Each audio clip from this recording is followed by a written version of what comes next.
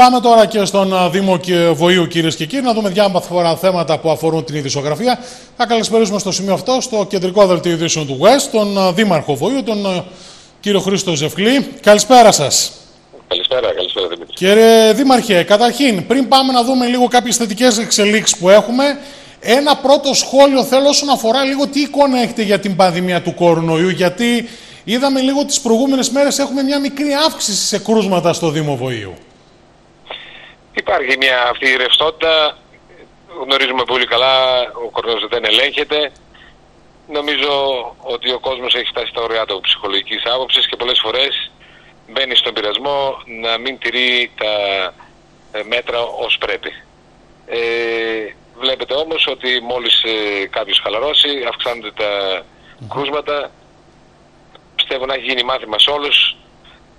Πάντα όμως θα υπάρχουν και οι παραβάτες έχουμε τέτοιες πληροφορίες και εμείς εδώ πέρα, οι οποίοι δυστυχώς ζημιώνουν και το κοινωνικό σύνολο. Υπάρχουν συνάνθρωποι μας οι οποίοι νοσηλεύονται και μερικοί από αυτούς και σε ελάχιστη βέβαια σε κακή κατάσταση. Ελπίζουμε τα πράγματα να πάνε καλά για την υγεία όλων μας. Συνεχίζουμε, πρέπει να προσέχουμε όμως, έτσι δεν γίνεται αλλιώς. Κάνετε ελέγχους αυστηρούς ως Δήμος Βοήου και με τη Δημοτική Αστυνομία γιατί ενώ είχε χαλαρώσει λίγο η κατάσταση στο Βόλιο, είδαμε παράμα το Σάββατο 12 κρούσματα. Δεν είναι και λίγα για την ευρύτερη περιοχή.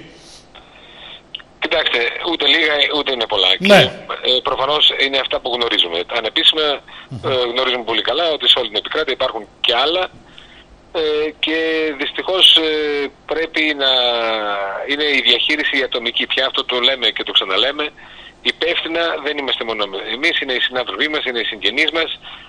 Δεν μπορούμε να κάνουμε κάτι άλλο παραπάνω. Νομίζω μέρα νύχτα η τηλεόραση μιλάει για αυτά, τα μέσα εσείς, οι ίδιοι.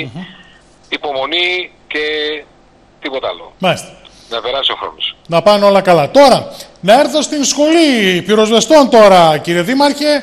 Είδαμε την Πέμπτη αργά το βράδυ ένα δημοσίευμα στην ηλεκτρονική εφημερίδα kozan.gr αλλά το Σάββατο την επίσημη ανακοίνωση ότι ιδρύεται υποπαράρτημα της ε, σχολής στην ε, ε, πρώην Σχολή Δημοτικής Αστυνομίας Τσοτιλίου. Και από τον Ιανουάριο θα δούμε στην σχολή εκεί στο Τσοτήλι να 115 σπουδαστές της Πυροσβεστικής Ακαδημίας του Λεμαΐδας. Ένα πρώτο δικό σας σχόλιο, σας είδα αισιόδοξο πάρα πολύ και τι, πόσο σημαντικό είναι αυτό για την περιοχή σας τώρα. Νομίζω ότι η σημαντικότητα ε, αναδεικνύεται από μόνη της. Ε, το να φιλοξενεί ένα, μια περιοχή σαν το Ζωτήλι, μια σχολή πανεπιστημιακού επίπεδου τέλος πάντων, mm-hmm. μιας και για να εισαχθείς πρέπει να κάνεις μηχανογραφικό, είναι μια, μια ευχάριστη είδηση για όλους μας. Δημιουργεί οικονομικές συνθήκες αυτές που θέλουμε, αλλά και ψυχική ανάταση, μιας και η περιοχή ευθύνει πάρα πολύ πληθυσμιακά. Όμως ε, αυτή η εξέλιξη δεν είναι τυχαία, γιατί το Τσοτήλι μαζί με άλλες υποδομές διαθέτει μια ίσως την καλύτερη υποδομή στην Ελλάδα, το οικοτροφείο Τσοτηλίου, μια ε, υποδομή η οποία δεν πρέπει να ξεχνάμε ότι το 2002 έγινε μια επένδυση 4 εκατομμυρίων ευρώ για να 7.500 τετραγωνικών μέτρων, να σας δώσω και τα στοιχεία της, με ε, εγκαταστάσεις οι οποίες πραγματικά αν επισκεφτεί κάποιος θα μπορούσε να το παραλύσει με ένα χώρο πέντε αστέρων, έτσι.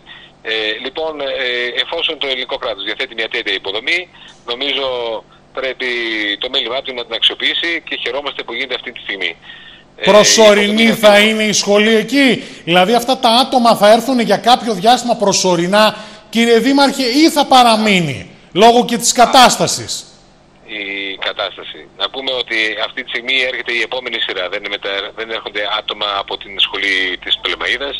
Ναι. Η επόμενη σειρά λοιπόν που είναι στον Αυλών αυτή τη στιγμή και τελειώνει με τα στρατιωτικά καθήκοντα, έτσι είναι το πρώτο διάστημα που κάνουν ε, τέσσερις μήνες. Θα έρθει κατευθείαν εδώ στο Τσοτήλι, όπου κυρίως θα κάνει θεωρητικά ε, μαθήματα. Από εκεί πέρα δημορφώνται καινούριες συνθήκες στο περιοριστικό σώμα, μιας και έχει λήξει το μνημόνιο των προσλήψεων. Υπήρχε ένα, ένα προς πέντε. Επίσης, αυξημένες ανάγκες ε, σημειώνονται γιατί υπάρχουν μπροστά άλλες δύο σειρές οι οποίες θα, από ό,τι μας μετέφεραν όλα αυτά, έτσι, ναι. ε, αφορούν 1.500 και 1.200 άτομα ανά έτος, θα βγουν στη σύνταξη και παρατείνεται και μεγαλώνει το, η διάρκεια των σπουδών και φτάνει τα τρία έτη από τα 2,5 έτη που ήταν μέχρι σήμερα. Όλα αυτά δημιουργούν αυξημένες ανάγκες για τους φοιτητές, που έρχεται αυτό το καταπληκτικό κτίριο όπως σας είπα να τις καλύψει. Μάλιστα. Ε, θέσεις εργασίας τώρα θα εξασφαλιστούν γιατί ε, βλέπουμε ότι λέτε ότι θα βοηθήσει πολύ στην ανάπτυξη της ε, περιοχής. Έχουμε εξασφάλιση θέσεων εργασίας ο, την περίοδο που θα λειτουργήσει η σχολή και θα είναι οι σπουδαστές στο Τσοτήλι. Είναι ένα θέμα το οποίο έπεται να γίνει αυτή η συζήτηση. Αυτή τη στιγμή σήμερα πρέπει να πούμε ότι υπάρχει εδώ κλιμάκιο μηχανικών ε, της πυροσβεστικής από την Αθήνα που βλέπετε τις ελλείψεις του κτηρίου που είναι ελάχιστες. Από εκεί πέρα έχουν έρθει και τα έγγραφα που ζητάνε την παραχώρηση του κτηρίου προχωράμε βήμα-βήμα και σίγουρα να, ότι θα αποσχοληθεί κόσμος από την περιοχή εξυπακούεται για πολλούς λόγους έτσι. Και για το είναι μια περιοχή η οποία είναι απομακρυσμένη ε, αλλά και οι ειδικότητες που θα χρειαστούν είτε όσον αφορά την κουζίνα ή την καθαριότητα είναι ε, θέσεις οι οποίες μπορούν να καλυφθούν άνετα από το υπάρχον εκεί δυναμικό. Μάλιστα. Το, το ανθρώπινο δυναμικό. Ωραία. Τώρα κύριε Δήμαρχε, διαβάζοντας σήμερα ένα δημοσίευμα στο kozan.gr Παναγιώτης Πλακεντάς, Δήμαρχος Εορδέας, δεν θα δεχτώ τη μείωση ούτε ενός σπουδαστή της σχολής πυροσβεστών. Αποφασισμένος να μην επιτρέψει την υποβάθμιση της σχολής πυροσβεστών του Λεμαΐδας. Μήπως έρχεστε σε μία ρήξη με το Δήμο Εορδέας όσον αφορά τη λειτουργία της σχολής στο Βόλιο; Σε καμία περίπτωση, γιατί το λέτε αυτό; Εμείς έχουμε πάρα πολύ καλές σχέσεις με τον Παναγιώτο Πλακεντά. Ε, κάθε δήμαρχος ε, φροντίζει για τον τόπο του, είναι ξεκάθαρο, το γνωρίζουμε όλοι και ο καθένας θα κάνει τον αγώνα του. Ε, σας είπα ότι δικαιούμαστε όλοι ένα κομμάτι ανάπτυξης. Το Βόλιο είναι παραμελημένο εδώ και χρόνια. Μην ξεχνάμε ότι είναι η πρώτη επαρχία στην Ευρώπη με τη μεγαλύτερη ανεργία και έχει εγκαταλειφθεί εδώ και πάρα, πάρα πολλά χρόνια.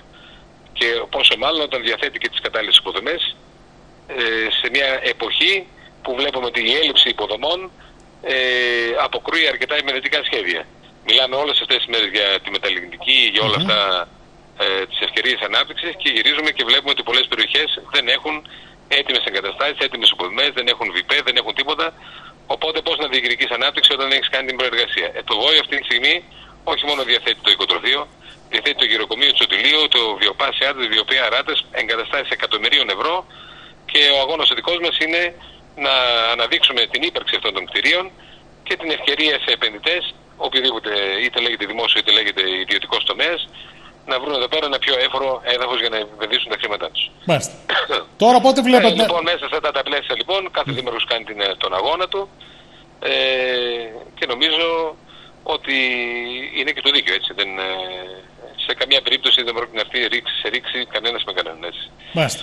Πότε βλέπετε ακριβώς αρχές Ιανουαρίου θα έρθουν οι σπουδαστές; Η τελευταία ενημέρωση είναι για 7 Ιανουαρίου. Υπήρχε ένα θέμα λόγω κορονοϊού, ε, γιατί έπρεπε να φύγουν 12-13 ε, του μηνός από το στρατόπεδο, το αν θα τους επιτρέπαν να πάνε στα σπίτια τους και να επανέλθουν ή αν θα έπρεπε να το αφήσουν και αργότερα. Από ό,τι κατάλαβα, η απόφαση είναι να μείνουν αρκετό, αρκετά μεγάλο διάστημα στα σπίτια τους και να επανέλθουν σε όσο γίνεται πιο ασφαλείς ε, συνθήκες. Μάλιστα. Τώρα κύριε Δήμαρχε, με αφορμή που σας φιλοξενώ να έρθω και στα διόδια, τι νεότερη εξέλιξη έχουμε; Έχουμε κάποια νεότερη εξέλιξη με τη λειτουργία των διοδίων στην περιοχή και αν ε, θα καταφέρετε να εξασφαλιστούν και θέσεις εργασίας, αλλά και δεύτερον να μην πληρώνουν διόδια οι πολίτες της ευρύτερης περιοχής του Δήμου. Τι νεότερα έχουμε από τις επαφές που έχετε με τον Υφυπουργό τον κύριο Κεφαλογιάννη; Αυτή τη στιγμή νομίζω ότι έχει γίνει γνωστό με πάρα πολύ κόπο τέλος πάντων από το Υπουργείο το τι ακριβώς επικρατεί εδώ και ποια είναι ε, τα ζητήματα τα οποία έχουμε θέσει. Έτσι, ότι και το τονίζω με όλους τους Δύο είναι τα σοβαρά ζητήματα.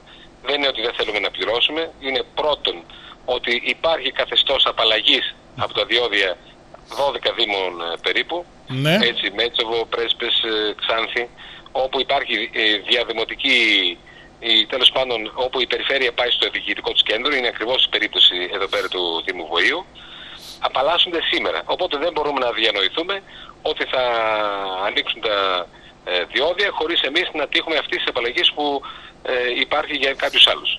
Οπότε ένα είναι το θέμα αυτό.